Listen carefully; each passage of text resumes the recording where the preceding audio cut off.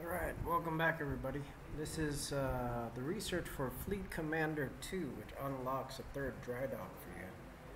Um, a total you can get five, it seems, which unlocks in the uh, level 30s. I think it's 32, but I could be wrong. Please check that and tell me in the comments. Or uh, wherever the box is, the type of stuff. Or my contact information which you'll see in the description. Um, so in order to get this, you have to have operations uh, level